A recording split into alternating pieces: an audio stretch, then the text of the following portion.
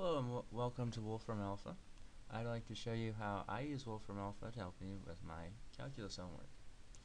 Um, first in calculus class we have been working on limits and um, Wolfram Alpha is extremely useful as you'll see in just one moment for evaluating limits.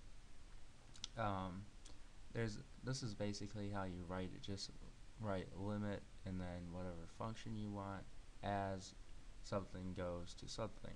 Here x goes to 0 or approaches 0. Hit equals and it will show you an answer. I'll modify this just a little bit to um, sine of x over x as x approaches 0. Now you see that this is indeterminate for if you plug 0 into sine x over x.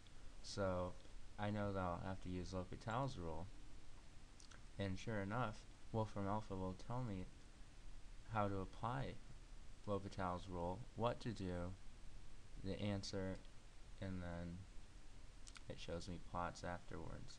So um, this right here is it works on much more complex equations, but this is just a simple example of how this works. It, um, also, um, for differentiation, you can, here's the function I was working with earlier, cosecant squared of 2x cotangent 2x. And you see that Wolfram alpha will change the form that you wrote it to the Mathematica form, which is the natural way that we would write it in math. Gives you your d dx in front, and it differentiates. And you can say show steps. It'll show everything it used to solve the problem it'll show you um, the product rule, chain rule, everything you need, and it gives you your answer at the end. Very useful when you're solving problems like this. If you get stuck at some point, it will not only show you what to do, but why it did it. Extremely useful. And here we have the graphs um, for two different intervals and alter alternative forms in case you solved the problem and you had a different form, but you can check with these al alternative forms to see if yours matches any of these. Um, so just very helpful when solving um, for derivatives. Um, you can also say integrate and um, I'll just do something like sine x and you'll see that it give me, gave me the integral sign sine x dx and it gave me negative cosine x plus a constant. Shows me a possible intermediate step and um, two graphs. Now Wolfram alpha is not limited to indefinite integrals. You can um, say x equals pi over 2 to x equals pi. And we don't have a key on the keyboard for pi, so you can just put in pi pi.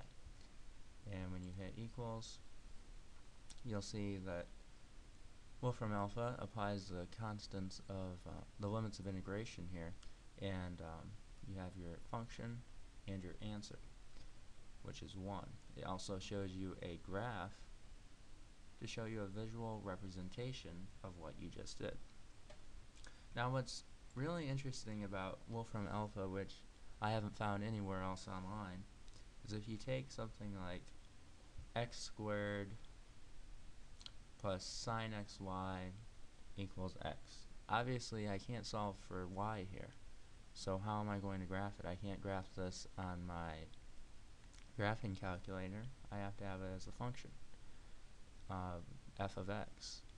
Many online graphers are the same way enter a function f of x. Wolfram alpha is not this way. Simply say plot before this and hit the equal sign. You'll see it thinks for a little while and it will give you a plot of x squared plus sine xy equals x.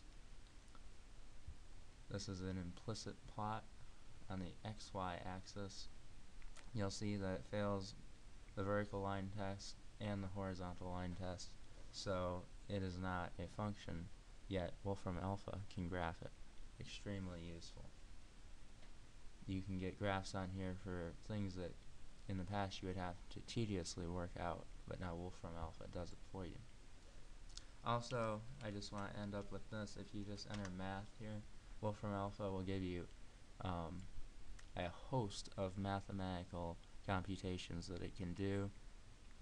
As I just showed, it's extremely good at plotting graphs. It'll give you graphs that you could never plot before.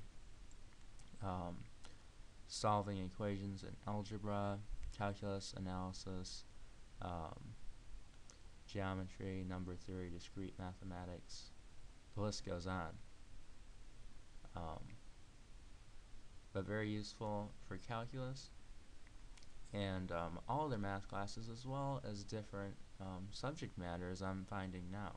But I just wanted to give you a little preview on how I use Wolfram Alpha for my calculus homework.